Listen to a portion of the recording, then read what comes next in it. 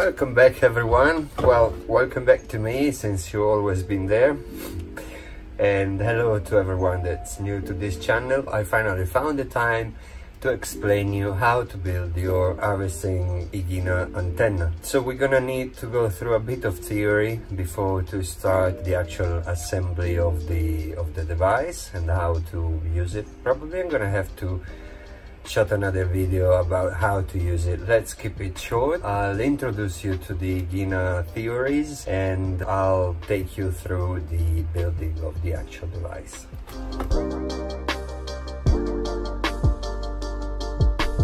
Okay, it's $500, you have no choice of carrier, the battery can't hold a charge, and the reception isn't very- Shut up and take my money! Okay, so first thing first, these are all theories and they haven't been proved either wrong or right till today. It's actually what I'm trying to do with the thing.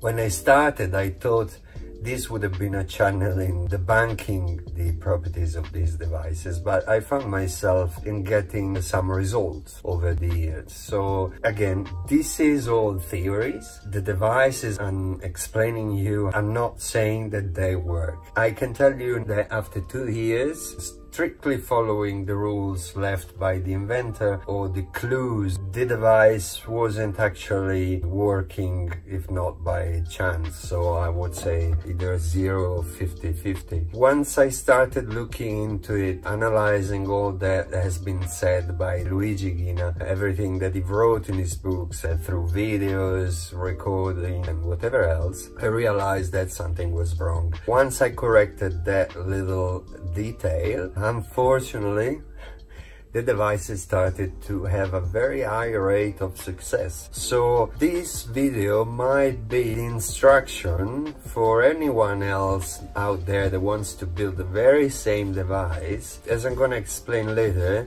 this is my design. I'm gonna explain you the principle of it and you can work out your either simpler or more complex device. It's all up to you. But I would love if someone takes the challenge and builds the very copy of my device better if on the other side of the planet so that we can cross-check our data. That way we might become closer to our conclusions because if the first results of the first design were between the 0 and 50% of success, after I modified it and uh, enhanced it, as I reckon I did, the ratio of success grew till about 96%. This has been given by a series of factors. First thing, I grew a certain consciousness about the hypothetical use of them. I find out probably the best way in my eyes to test it without badly influencing the environment. Basically, I started using it not to change what the weather condition were at the moment, but to try and attract the correct weather. So basically, I didn't try to get sun on the rainy season. I tried to get rain on the rainy season because we needed it. Two years ago, I tried to get sun in the rainy season and I don't think that was a very wise thing to do. It's true that it will prove that the device works, but there are better way to prove it. This is what I'm working on right now. I'm trying to build the full-scale copy of the Ighina laboratory, not the harvesting device, but the generator, which is there this is the 3D design, the generator and the transmitter antenna. And I'm trying to build it on the desert side so that if I can call clouds and rain up there where it never been raining in history, that will prove if the device works or if it's just a scam.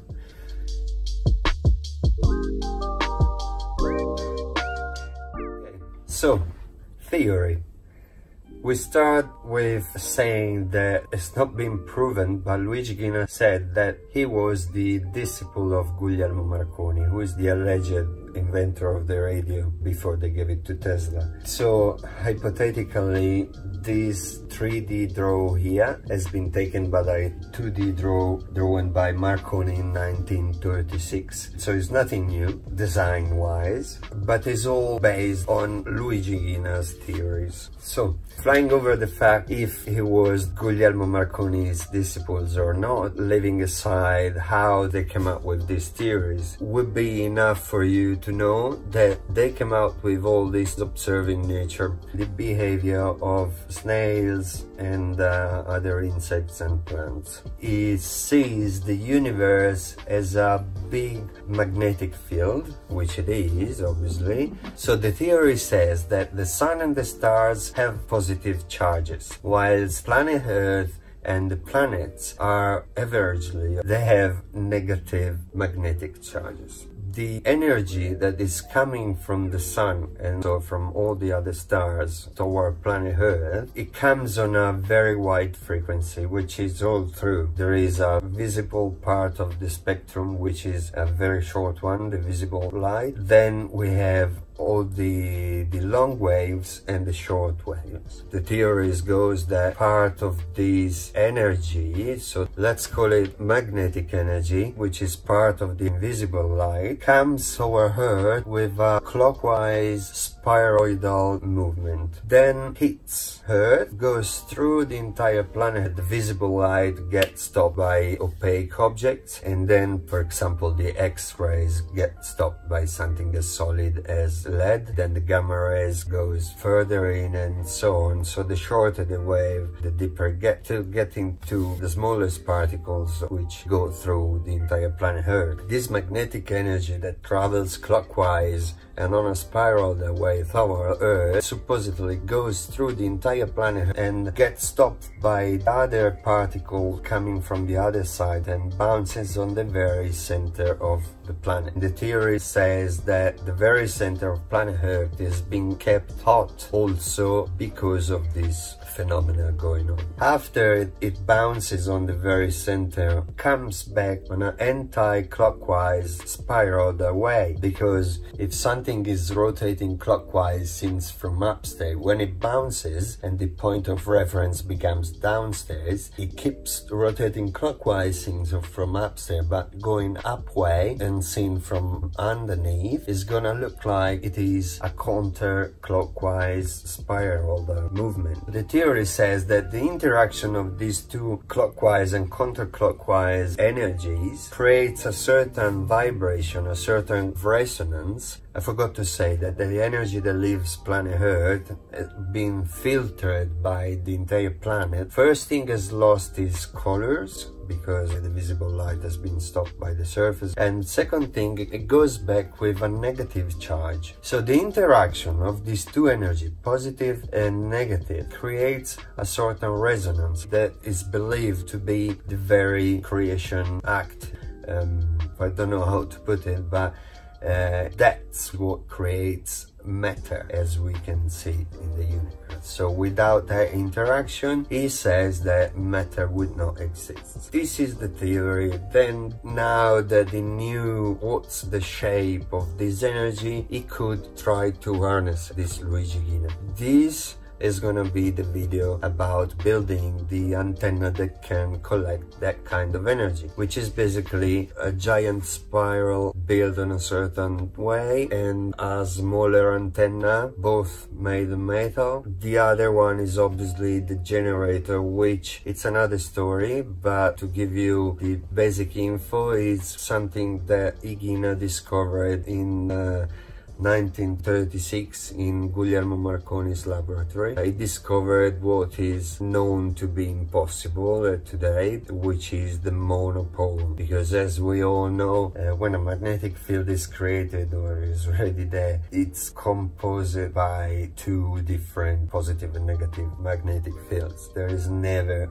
a single one. Otherwise, we would have free energy devices and levitation, whatever. It's in contradiction of one of the basic physics laws. That's also what I'm trying to prove, if this machine was real or not, but that's another story. Anyway, he discovered by accident after other trials in the laboratory. But anyway, I haven't shown it to you before. That's, that's a sarcophagus. I'm gonna show it to you soon but this needs at least a couple of hours of explanation. That's that's a story for another time. So for now, we're moving to the, the garage so that I can show you the actual machine and take you through the, the various stages to build it. It's very, very, very simple, basic. Thanks for listening. This was the theory, although very summarized, very plain, with no details. If you want to know more about it, unfortunately, the only books about this kind of stuff, they are in Italian language. The original book written by Luigi Ighina is this one. You can probably find it online. I'm working on a translation. I've actually finished and then I'm working on a commentary of these and then I'm gonna have to ask for the copyright distributor. Yeah, that's one of the two books. The other book is this one. This is the actual editor. These two book here, they have more info of than whatever I can give you. If I can tell you something more about all these things, is all coming from just my experience. Ah, yeah, to conclude, I have to say something. The inventor, I don't know why, we can hypothesize about it, but probably the more plausible would be old age. In the first years of his studies, he stated what I just said to you, that the energy comes with a clockwise way toward Earth and leaves an anti-clockwise way seen from downstairs. What happens is that he's been preaching for years to build this kind of device here with a clockwise spiral and then it would generally goes like, okay, but if you turn it upside down, you'll see that it's a anti-clockwise clockwise spiral, which is not true. The truth is that this is an anti-clockwise spiral, which is the opposite of that one. It's not just turning it upside down. So what it comes out is that there are four kind of energies of the same energies. Ighina was showing these phenomena happening like if it was a laser ray coming from sun to planet Earth, which it isn't. If it's all through what he's stating, it goes 360 by 360 all around the sun in all the directions and the energy is coming from all the entire universe, from every sun and stars out there. So what happens is that the energy doesn't behave as he says. It doesn't perforate planet Earth and hits in the perfect very center. Those are just few them that get attracted by, I don't know, gravity, let's say, or whatever. Other, we just travel through Earth because caught on the very side, other bounces, other going back and bouncing against other coming from other planet, going through another planet and going uh, in the very center of planet Earth. Those are all different variations which comes out to have a clockwise and anti-clockwise positive energy and a clockwise and anti-clockwise negative energy. So in the case of the generation of the energy of the monopole, you, you can forget about all these theories because hypothetically you're already generating either positive or negative energy at your wills. In the case of harnessing these energies, you have to keep in mind that on the sunny day, so in the midday, you're gonna have more positive energy clockwise coming per perpendicularly down to your place, like a solar panel, and more anti-clockwise, so not these spiral capsided but anti-clockwise seen from downstairs spiral. So those two they're gonna be the most powerful in the daytime. In the nighttime is a different story. With other planet on a certain line with the moon interacting these are all different variations. So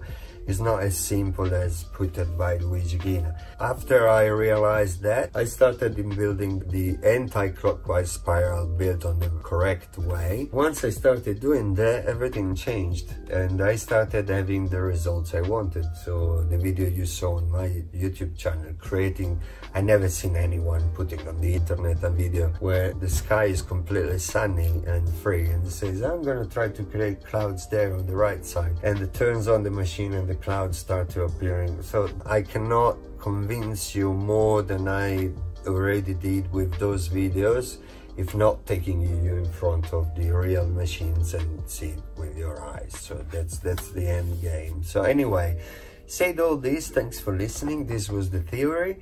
We're gonna now move to chapter number two building the machine. Catch you in the garage guys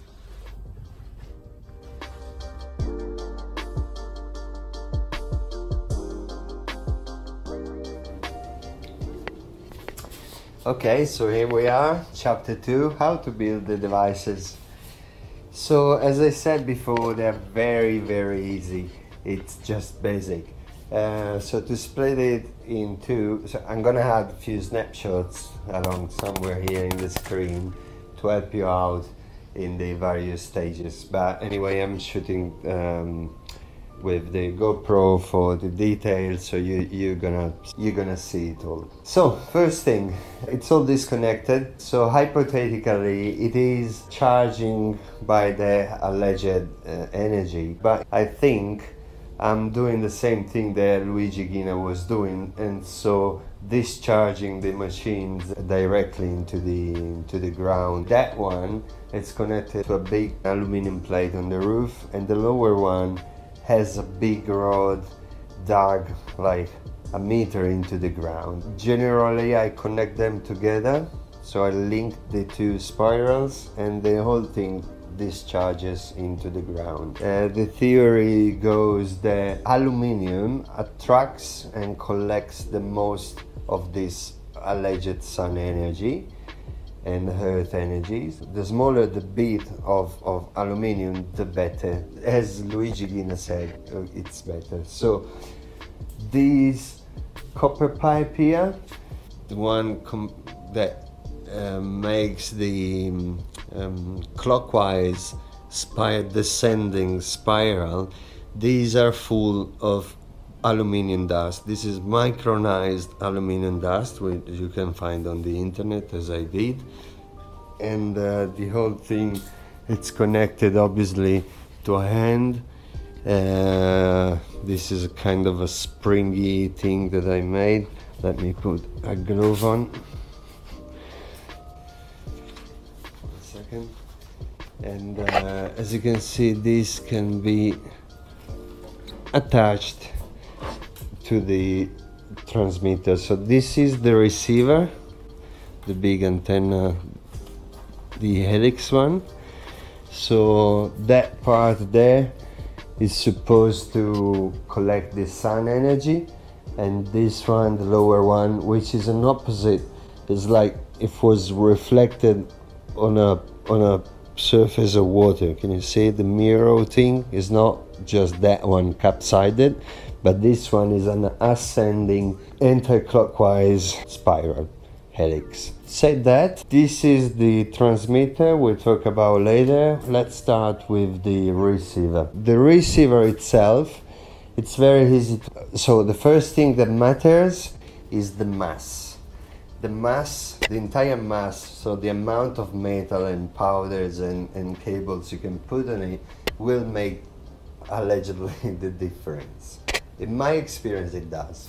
The bigger, the better. Imagine this energy can rotate only clockwise descending. So if you see the whole thing from above, you'll see that each lap, it's not perpendicular underneath the previous one. So the whole spiral is properly and gradually enlarging itself till the base. What I did, as you can see in the, the snapshots, I started by creating um, a sort of, of structure Uh, I use bamboo because I had that one. You can actually do way better than this, way better than this. Like every project, the better you start, the better result you get out of it. So as I said, this is my design, but you can do as you want. You can change whatever. I'm explaining you the principle. I'd like if someone creates the very same one. If you start with a solid base, you'll get a better result. So now you see how it should be. You can start with drawing it down, make a beautiful draw of it in all the view that you need to, and start with selecting the right material and uh, calculating properly the material that you need. So I won't give you measures, diameters, gauges, and whatever else. I'm just giving you the lines. So you start with a structure that properly designed will be better than this. But anyway, this is how I went on. I started with uh, with building a bamboo structure and then I started with folding it um, with creating this big spiral in, in and connected the parts. So uh, then I filled it inside this uh, pipe. There is an entire cable which was quite hard to put in so this is why I used pieces uh, bits so that I can I could fill the cable and also the dust, the aluminium dust. So there is a copper cable and aluminium dust in it, which is all connected together and supposedly uh, it that it, it, it function as a big um, wire that collects the energy and discharge it to our transmitter.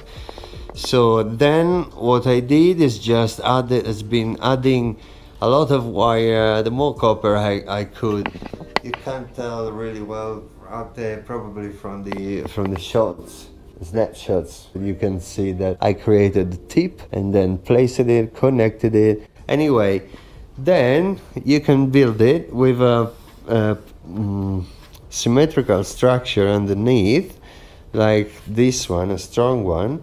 Uh, I used wood because hypothetically it's uh, the proper thing to isolate this energy. I'm, I'm treating it always if there was uh, actual power, electric power in it. That's why I'm wearing gloves, that's why I'm using copper. For building the big spiral for the collecting the earth energy, which after thinking about it, I realized that obviously if it, the only energy that comes out of planet Earth is the one that bounces in the very center of planet Earth and, and comes back with the negative magnetic charge. So that means that there is a much lesser negative energy coming out of planet Earth than positive energy coming from the sun. So I wanted it to have a bigger aluminium mass to collect it, although this is not in dust, but I ran out of money. So I used a big cable, which is what you can see on the, on the back side here is aluminium. This is the the big copper, very thick copper that I chopped to to create the to fill all the um, spiral, the big spiral, and this is the, the aluminium one.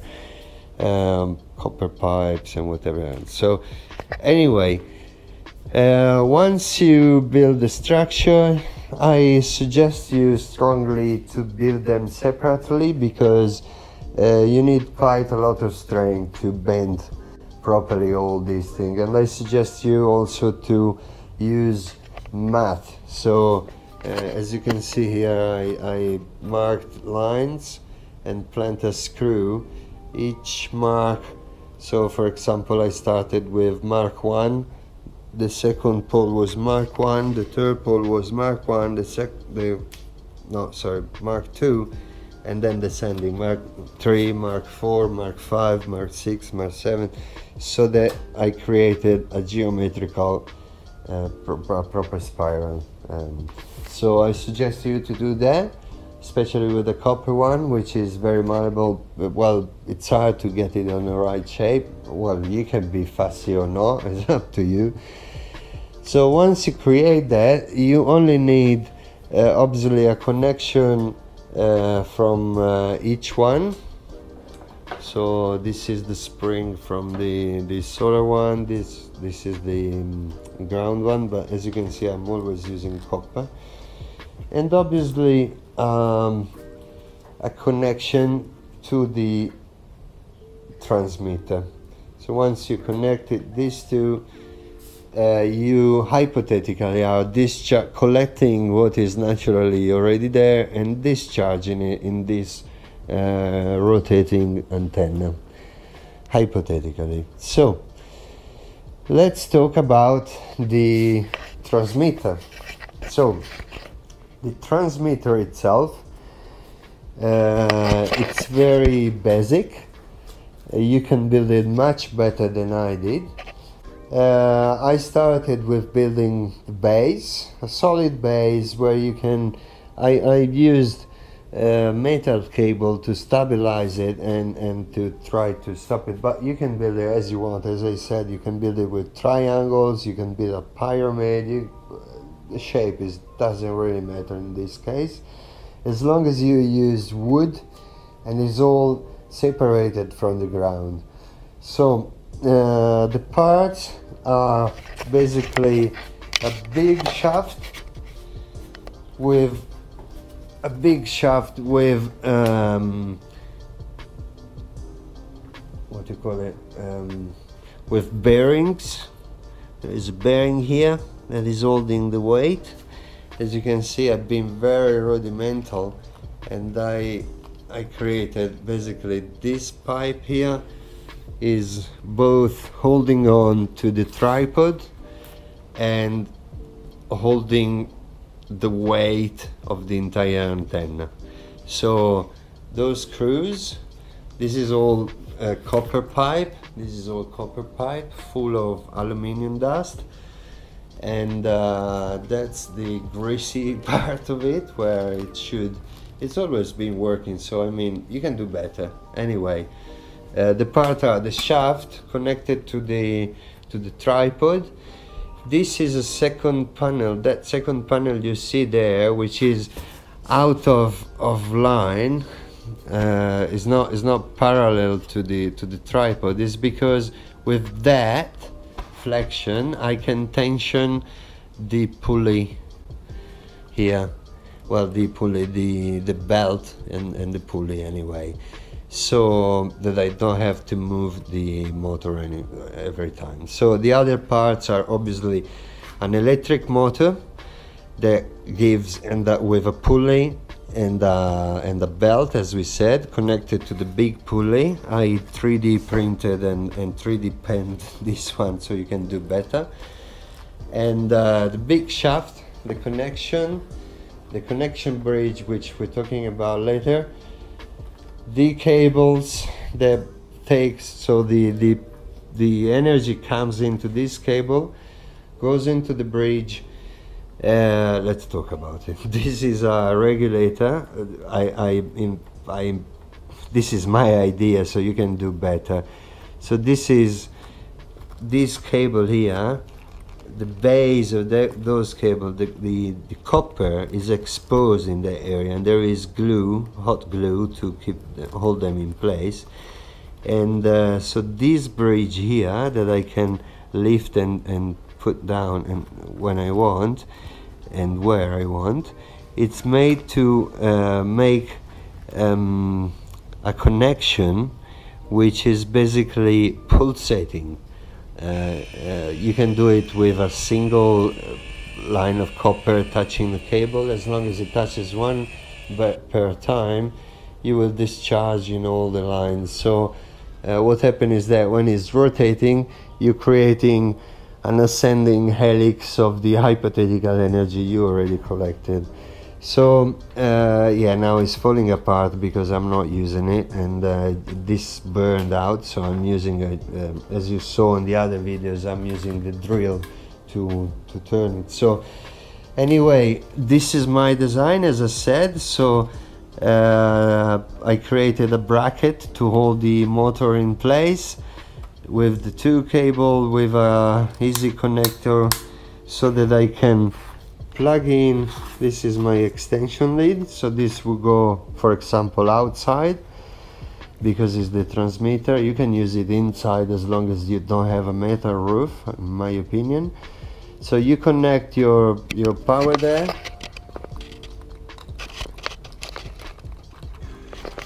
They're connected.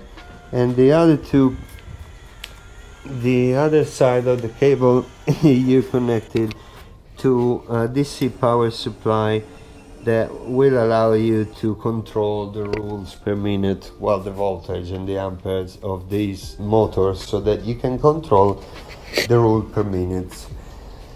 Basically that's it. What you have to do is build a, a good shaft where to sit the old antenna and create a good traction here. So it doesn't really matter what kind of pulley what kind of motor you're using what um, sort of um, setup you'll you'll have. Uh, as long as these revolves and you can control the rule per minute and you have a bridge of some sort that discharges the power that you're connect, collecting from the other one into these cables that runs along the shaft. And above here? You can create an antenna of some sort. I used uh, zinc metal so that um, basically as you can see I start thicker and I go um, um, thinner. And these are very thin cable because uh, hypothetically the energy discharges on the tips on corners and uh, I reckon the, the big uh, mass collects the, the, more, the most energy and the small bits are more to uh, it. So uh, again you can do it whatever you want. This is a flower looking shape was easy to to come off with uh, the math. So I start with a short one and long so each uh, arm is longer of the same amount of the previous one. So this is all in ratio. This is Fibonacci uh, spiral but you don't have to really use it. So at the top I connected uh, um, um, steel no actually it's an iron um, thingy here to as a tip but I also use a lot this one which is uh, basically just a cone like in the um, Trevor Constable um, devices and I just spin it that way depending on what I want to call uh, but in my opinion the best tip you can create is the Rodin coil. Uh, it's very easy to to create very very easy. I won't bother you with how to. You just go on the YouTube and uh, there are plenty of links uh, about it. The only thing that um, changes on this one is that this one is a mingle with between the Rodin coil and this can you see the two spirals one going up and the other down? As um, now I'm going to show you I forgot about those. And uh, there is a counterclockwise small spiral going around and a big clockwise spiral going around. So this is halfway between an invention of Pierluigi Ighina which is uh, uh, mainly, mainly a, a, water purifier where you can sit your bottle of water in the middle and it purifies with the energies um, of uh, earth and sun and earth. And uh, these two little antenna uh, they are omnipresent in the Ighina's um, inventions because allegedly they keep uh, the various cable um, loaded with the earth energy or or sun energy. So this is the best tip you can use in my opinion. And uh, this had always had results so but you know it might be all just coincidences. So that's why I'd like to someone for for creating the the same thing. So as you can see here, I created uh, a lot of spirals, so little spirals. Uh, they are all clockwise seen from above, uh, clockwise spirals, and we start with very tiny one and each turn of the big spiral you'll see that these little helix are getting larger and larger till the very last one is is quite big one you see and this hand here the tip you can see in all all these um, uh, spirals is classical of the Ighina inventions because it, it believes that that's the way to to go to top finished uh, uh, a proper helix that collects the energy. So, um, but again, uh, open to opinions.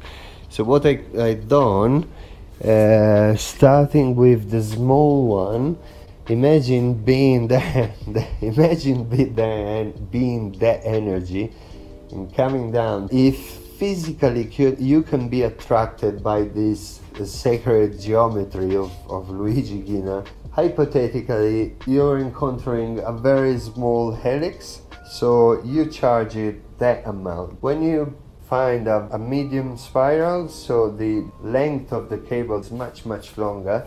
So you're charging with more energy and so on till the big one which is charged with even more energy. So i'm trying to create in that way a certain preferred way for the energy to flow. Like you do with electric power, taking advantage of the various difference in absorption and whatever else properties Uh, of the various metals. You can also create this sort of difference in the mass, so going from bigger to to smaller. You can also implement this one adding spike. The best thing to implement this one is enlarging it. But again, you won't collect that much energy with an harvesting device. What you can collect with that is only what is already present in the environment, hypothetically. If you move into the building the monopole generator, so at that point, I would say definitely you need a big gigantic mass on top of this where uh, you can attract all that energy that you're creating. This is pretty much all. I'm gonna have sooner or later to make a video on uh, explaining how to use it, or at least to explain what I understood of it. We my update if anything was missing, and please uh, do it that's pretty much all. Thanks for listening. Thanks for having been waiting for this video. If you didn't consider subscribing already, please subscribe. It helps out. Let me know how it goes. I'm curious if anyone wants to build it now. Next video I'll upload. I'll show you what I've been doing on the last two couple of months that I've been missing from the YouTube. Thanks again. See you soon guys.